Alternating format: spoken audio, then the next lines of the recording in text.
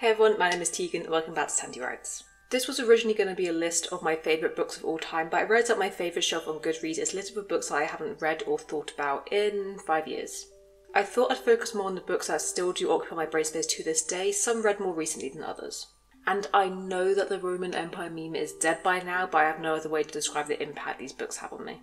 This list is accurate to my taste in books up to the age of 21, as I know there are infinite books I'm planning to read that could potentially replace every single entry. These are also predominantly young adult and fantasy just because that's been scratching my brain right. This list is in no particular order except the order in which they appear on my bookshelves. Let's begin. The Wicker King by K. Ancrum. The Wicker King is a psychological young adult thriller that follows two friends struggling as one spirals into madness. When August learns that his best friend Jack shows signs of degenerative hallucinatory disorder, he is determined to help Jack cope. Jack's vivid and long-term visions take place in the form of elaborate fantasy world laid over our own, a world ruled by the Wicker King. As Jack leads them on the quest to fulfill a dark prophecy in this alternate world, even August begins to question what is real or not. August and Jack struggle to keep afloat as they teeter between fantasy and their own emotions. In the end, each must choose his own truth. K. Ancrum, as I said before, is truly just a once in a lifetime author to me. Her prose and craft are so unique and endearing, and every book by her feels like something that has done irreversible damage to my brain chemistry. This book so deeply means a lot to me. I think the thing that stands out to me is how you can do your best and still fail, but it's not your fault. It's really brutal and sad, yet beautiful. It's about mental illness and codependency and unhealthy relationships and neglect and kids just trying to cope the best they can. It's a flawed story about flawed boys, but can we rewrite the part where I just said they're trying to cope and hold the world on their shoulders the best they can, and they absolutely mess up, but they try. I also think this is the kind of book that is more than words on a page. There are lots of suppressed feelings and emotions and underlying psychological reasons and causes, so go in expecting kids to mess up because they do. This book is dedicated to all the kids whose arms are filled with too much for them to hold, but who are trying their best not to drop a single thing. I see you and I am proud of you for trying. And a special shout out to Ellen Duda, the interior designer of this book, because the design is incredible and the pages become darker with the story. The Wicker King is a good fit for readers interested in exploring the complexities of mental health, codependency, and the blurred lines between reality and madness, all woven into a dark and emotional thriller with a unique stream of consciousness style. Six of Crows by Leigh Bardugo. Kaz is offered a chance at a deadly heist that can make him rich beyond his wildest dreams, but he can't pull it off alone. Six dangerous outcasts, one impossible heist. Kaz's crew is the only thing that might stand between the world and destruction if they don't kill each other first. This book is a sweeping, epic tale with six main characters, five perspectives, complex and detailed world building that's seamlessly integrated into the story, flashbacks of the character's history, and a wonderful blend of darkness, magic, action, humour, and romance. Bardugo crafts each of her characters with love and sensitivity, allowing them to be extremely badass, wicked sometimes, and unlikable in that multi layered way that actually makes them completely likable. They're ragtag band of misfits are not exactly friends, but are all united for a common mission, and most importantly, they each have a purpose. There are no redundant, extraneous characters, but each character is doing this for their own reason. Small shout out to Keith Thompson, who drew the map and the Ice Court illustration for this book, and I assume the maps across the rest of the Grishaverse. I love them a lot. Six of Crows is a great fit for readers who enjoy stories about unlikely teams coming together, overcoming their differences, and facing challenges while navigating a richly detailed fantasy world. Piranesi by Susanna Clarke. Piranesi's house is no ordinary building. Its rooms are infinite, its corridors are endless, its walls are lined with thousands upon thousands of statues, each one different from all the others. There's one other person in this house, a man called the Other, who visits Piranesi twice a week and asks for help with research into a great and secret knowledge. But as Piranesi explores, evidence emerges of another person and a terrible truth begins to unravel, revealing a world beyond the one Piranesi has always known.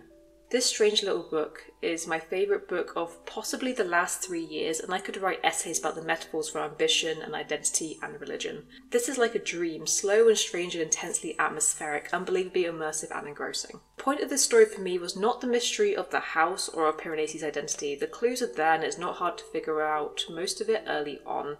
The strength is a strange world that Clarke creates so vividly that I felt I was walking in the halls and avoiding the tides and listening to the messages in the house sends and capturing the glimpse of the moon along with Piranesi. Her hypnotic voice, the voice of the timeless scientist, transported me fully into the strange, orderly confusion and left me spellbound. And that was a spell I did not want to end. Piranesi is a good fit for readers who enjoy immersive, imaginative tales set in otherworldly environments where the exploration of memory and uncovering hidden truths lead to a deeper understanding of one's own reality. Small Favours by Erin A. Craig. Ellery Dowling lives in the quiet town of Amity Falls, bordered by a nearly impenetrable forest from which early townsfolk fought off devils in the woods. visitors are few and rare. But when a supply party goes missing, some worry that the monsters that once stalked the region have returned.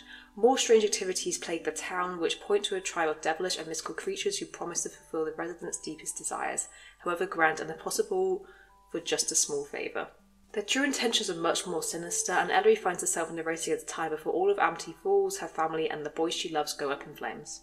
Small Favours is a beautifully creepy gothic tale loosely based on the fairy tale of Rumpelstiltskin. I am always keen on claustrophobic small town mysteries. People get trapped in a place, harsh winter comes out as the monsters start lurking around the woods. The atmosphere is so realistically spooky, it's the perfect setting.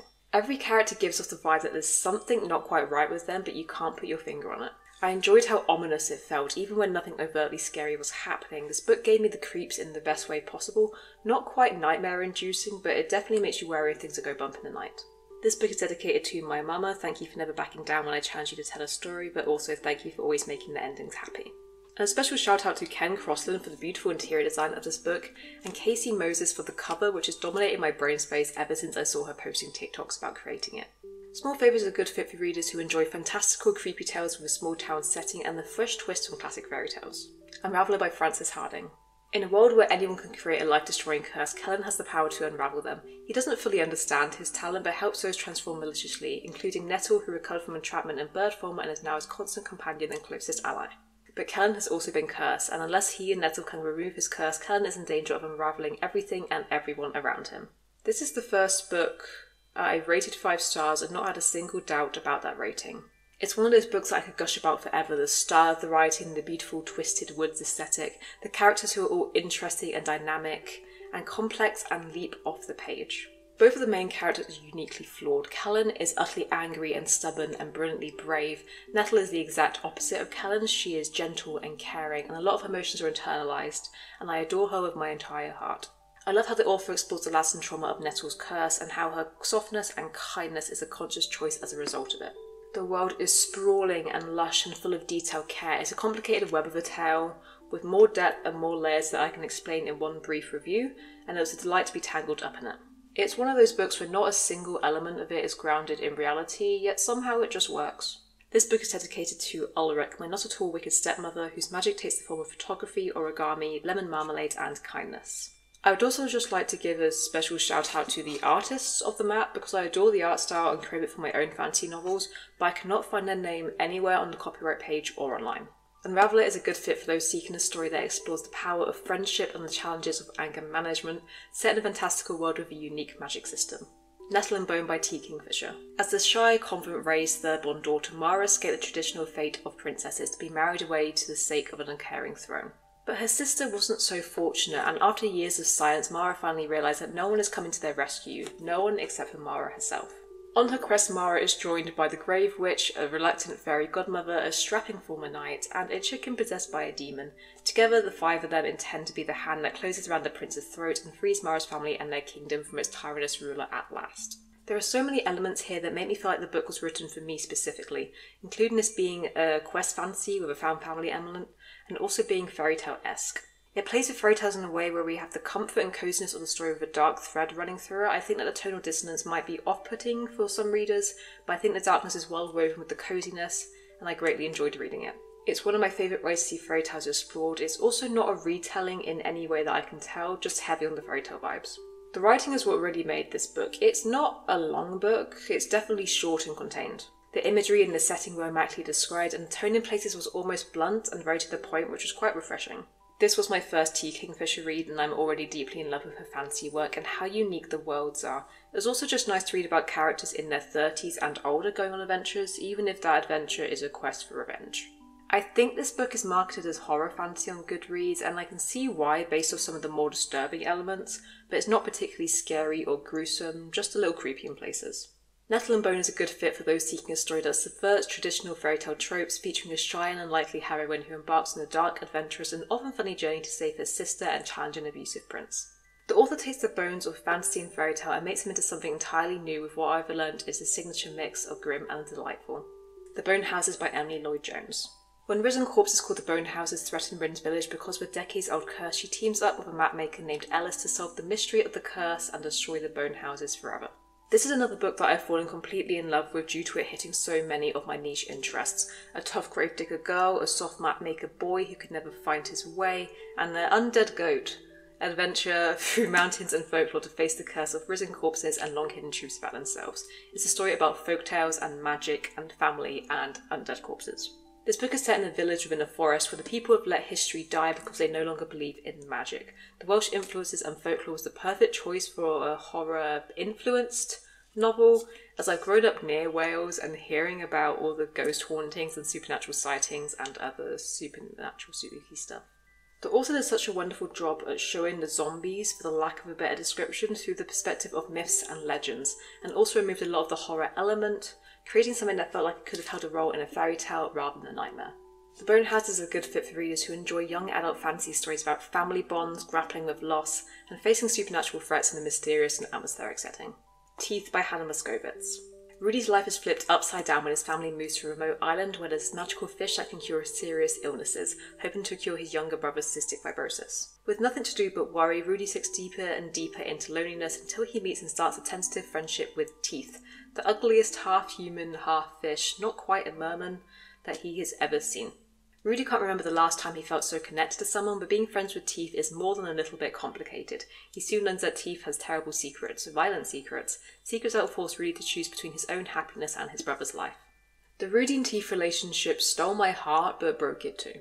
Their relationship is completely flawed and dysfunctional, but the characters are so beautifully written that I was in love with their complexity and desperation and charm. The writing is so raw, emphasizing all the brutality and blood and darkness. I love the setting of this book so much because it reminds me of home. The descriptions were incredibly vivid, saying so much in few words. If you're looking for a twisted fairy tale of magic and miracles and teeth and tears, this is for you. It deserves all the love and the reads and the stars. I want to throw myself into the ocean. This book is dedicated to my mum who read me stories and my dad who made them up. Teeth is a good fit for readers who are interested in exploring complex themes of survivor's guilt, the power of relationships, and the blurred lines between reality and fantasy, all woven into a dark and absorbing modern fairy tale. These Violent Delights by Micah Nemerever When Paul enters university in early 1970s Pittsburgh, it's with the hope of moving past the recent death of his father. When he meets the worldly Julian in his freshman ethics class, Paul is immediately drawn to his classmate's effortless charm, and he will stop at nothing to prove himself worthy of their friendship.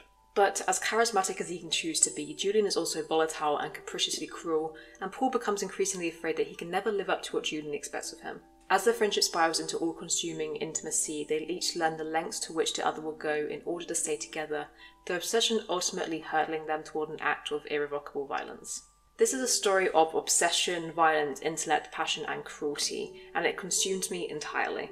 I finished reading it last year and I still don't have the words for a review. It's a slow, intoxicating book of violence and mental illness and subtle cruelty and consuming obsessive love. It's a mess and it's so beautifully written, and I'm perpetually devastated that this author doesn't have any other books released at the moment. The prose is incredible. The absolutely phenomenal level of detail just made each scene alive. It made the book slow and thoughtful, but in the best way. You aren't just viewing the world like Paul would, you are so deep in his mind. The way his sensory overload seeps through the pages, I felt every word of it. These Violent Delights is a good fit for readers interested in exploring the dark and intense story of toxic friendship between two male college students with queer identities set in the world of academia that ultimately leads to a shocking act of violence. The Scorpio Races by Maggie Stiefvater. Controversial opinion, but this beats out the Raven Cycle as my favourite Stiefvater work. Every November, the Scorpio races are run beneath the chalk cliffs of Skarmouth. Sean Kendrick is the only man on the island capable of taming the beasts. Puck enters the races to save her family, but the horse she rides is an ordinary little mare. They both enter the races hoping to change their lives, but first they'll have to survive. This book is a set of brilliant moments woven together with a sure hand and structured around a simple plot that illuminates, with rich prose and rich structure, a set of very real, very damaged, very hopeful characters learn the courage it takes to reveal their authentic selves to each other and to the world. It's the kind of story I've come back to so many times because I'm drawn into this oddly poetic tale of magic and desire and longing. And the familiarity of Stiefvater's storytelling and characterization is a comfort blanket. It's also obvious that Stiefvater has a genuine love for myths and folklore and horses. She writes about it all convincingly and there's a deep respect in her words that seeps out of every page. The Scorpio Race is a good fit for readers seeking an immersive and atmospheric story that combines elements of fantasy, adventure, and reflection, with a focus on the complexities of human relationships and the power of nature. And these are my favourite books of all time. Ignore that they are all upside down.